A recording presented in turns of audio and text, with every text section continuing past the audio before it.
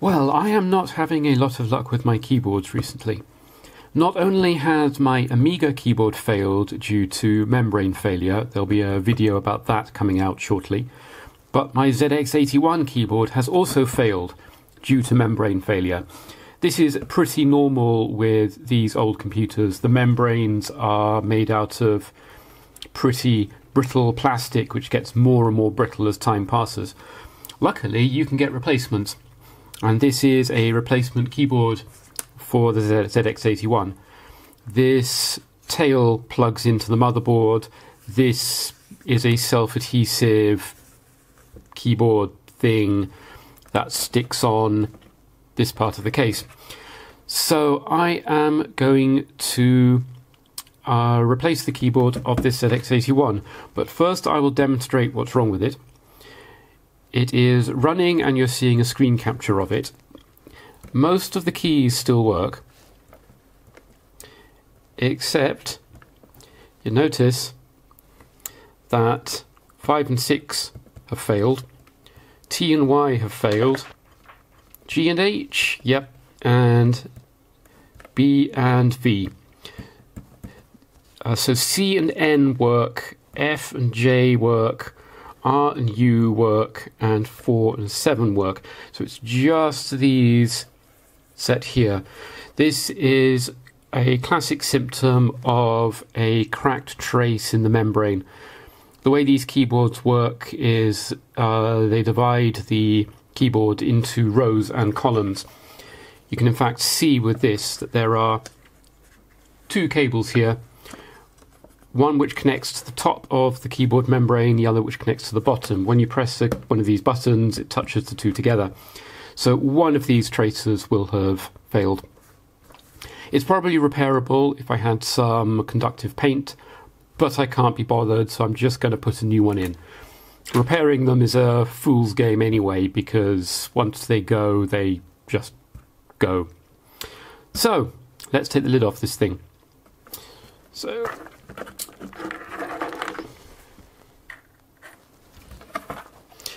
Luckily, the ZX81 is pretty simple to dismantle. If I can find an appropriate screwdriver, not that one,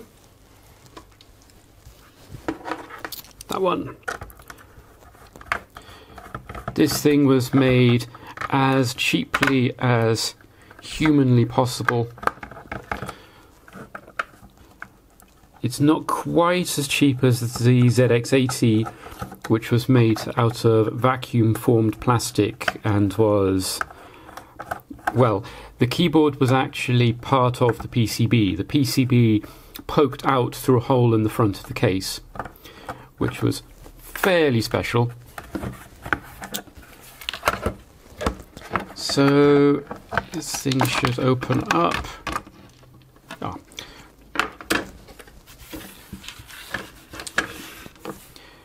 And this shows you the PCB, the composite mod I did to, so that I don't need a RF modulator, and the really rather handsome old-fashioned red PCB. Um, I need to take the PCB off. Okay, now that screwdriver is not big enough.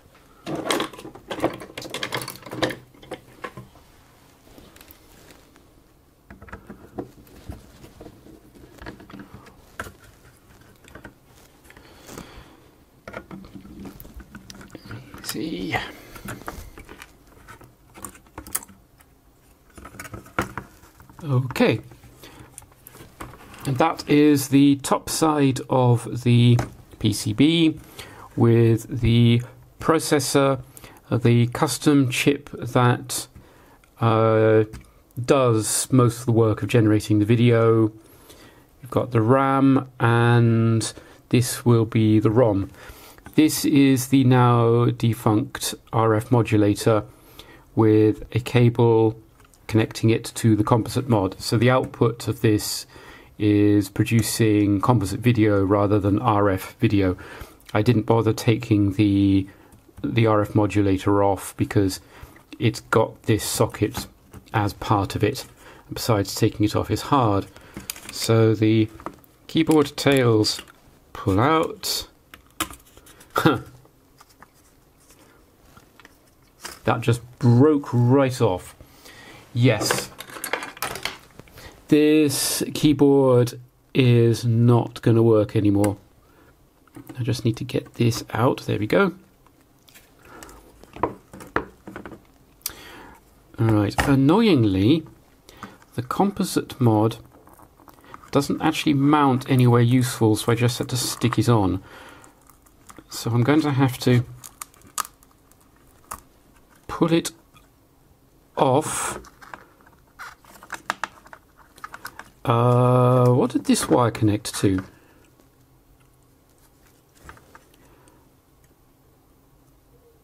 Nothing as far as I can tell.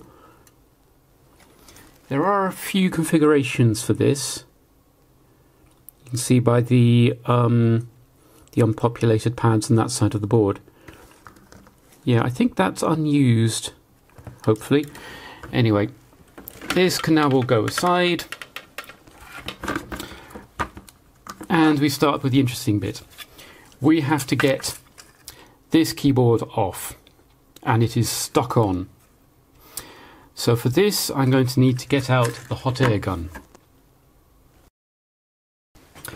Okay, now, as I say, this thing is stuck on, so it could just be pried up, but it works so much better if you heat it up first. So, trying to arrange my hands. Let's see how this works. It's set to the minimum temperature.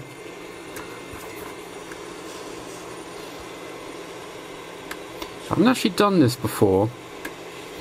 Yes, this appears to be working pretty well.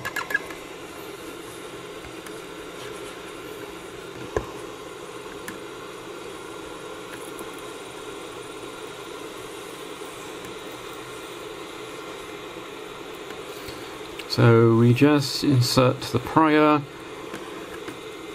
under this thing. I should probably have used the bigger nozzle actually.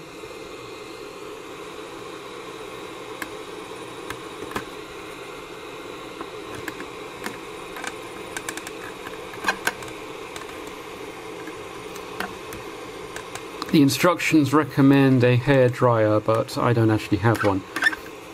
Hot air gun should do fine.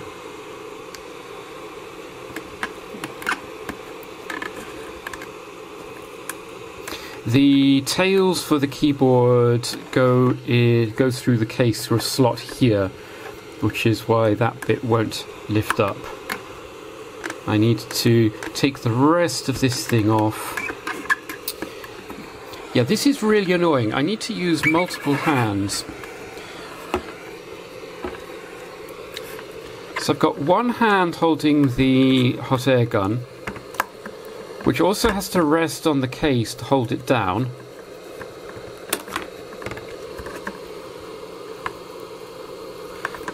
And then the other hand has to peel the thing off.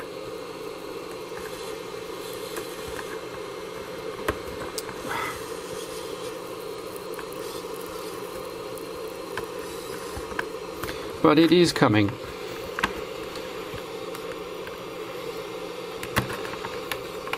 I suspect the ancient adhesive probably isn't much good anymore.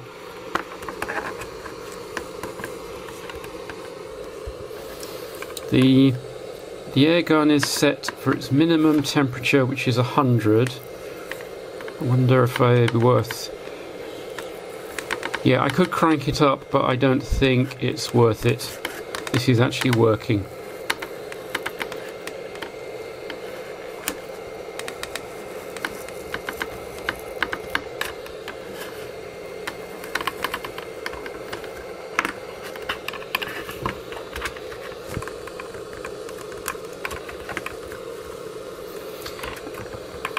And as you might imagine, I really don't think this keyboard is going to be any use after it's taken off.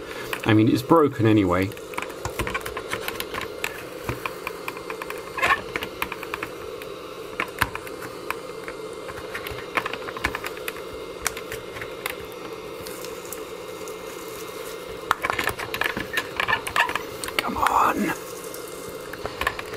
it's not as delicate as I was hoping it was going to be.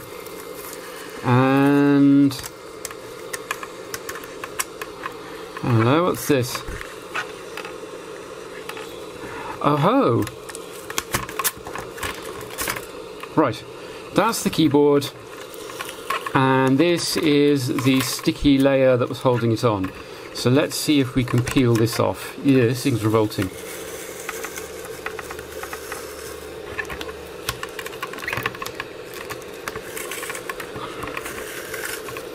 I was afraid I was going to have to scrub this thing with IPA, but this is working out nicely.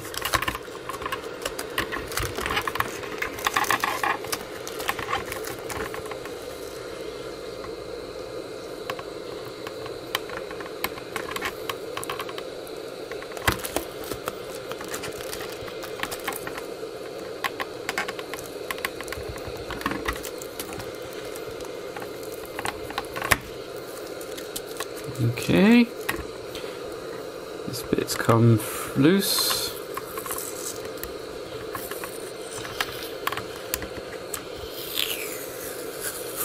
All right. Good. That bit's done.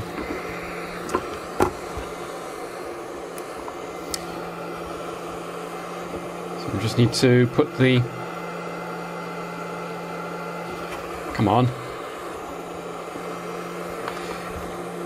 The the wand goes into the heat gun at a particular angle to turn it off. There's a magnet that throws a reed switch. There we go. But it's not really particularly obvious how it goes. Okay. So here we have the case. It's a little bit sticky, but that's fine. Here is the old membrane. The, the torn, brittle plastic You can see there are two layers. This is the these are the actual contacts themselves that get pressed together. I peel this apart.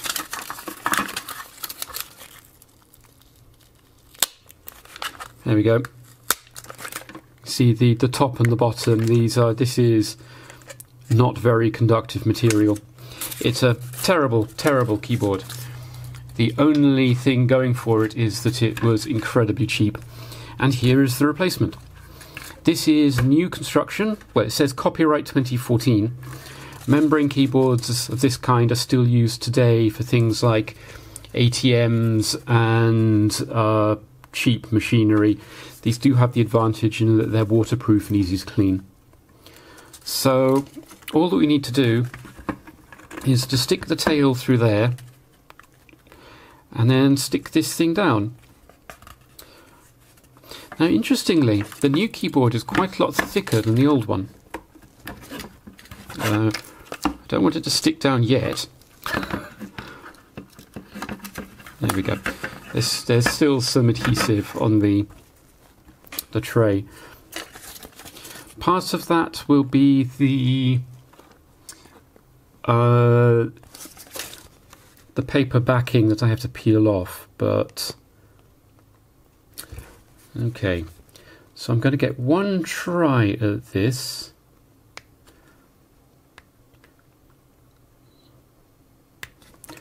I can peel the blasted stuff off. I don't want to damage the keyboard itself. Oh, come on.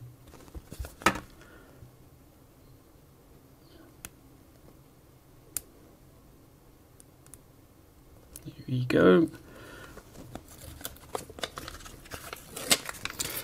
So this reveals the keyboard layers, which is subtly different. It is a new design rather than a reproduction of the old.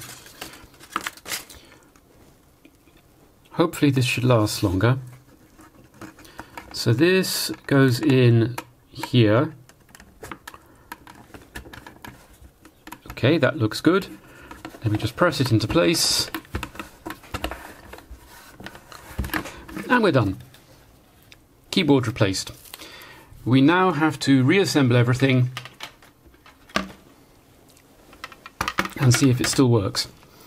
So... Figure out how it all goes together now.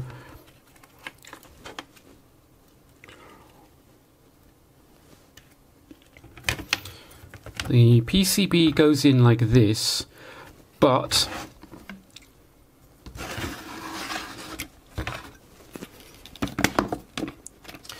the keyboard membrane plugs in here. Just trying to think what the best way to do this is.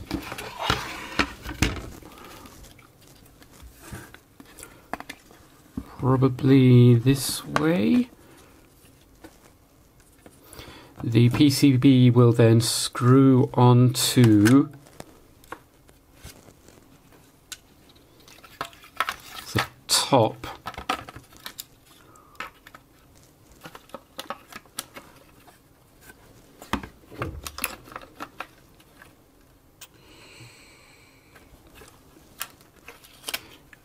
Yes, I should have taken better notes as to how it goes together.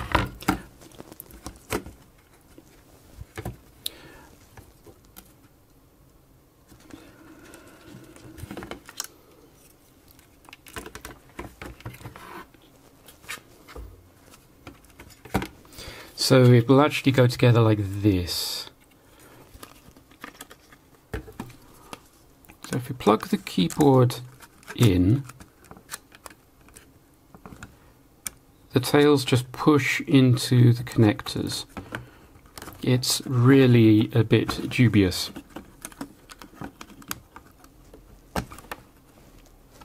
And difficult to see. There we go. Like so. Then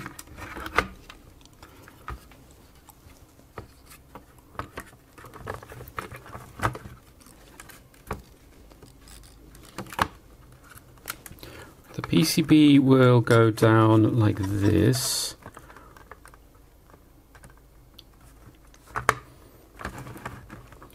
And these two screws will go in. There's one here.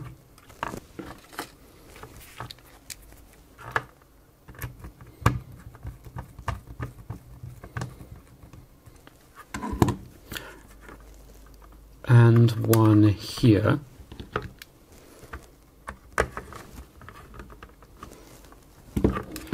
Right, we then stick the composite mod board down. So the black wire is unused. We can reuse the old piece of adhesive. And then this should just push down here.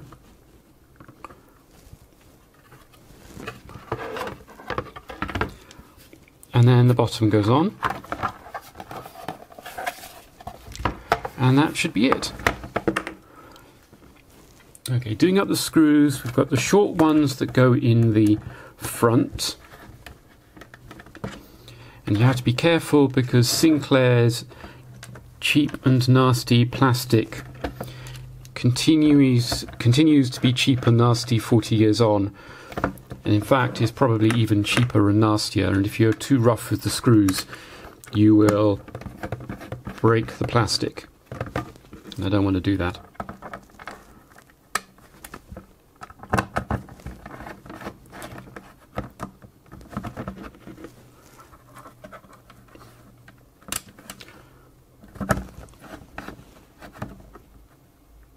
Okay. And that should be it. So, let's hook up the video again. And plug in the power and see what happens.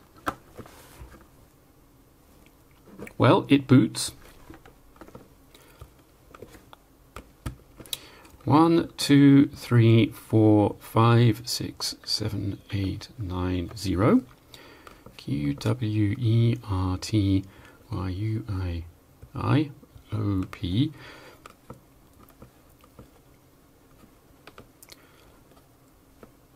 K L Z X C V B and M dot space. Right, all the keys work. Close quote. New line. 20 go to 10. Fantastic.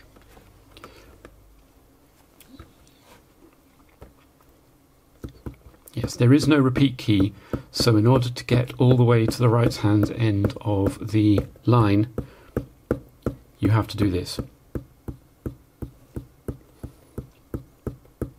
It takes forever.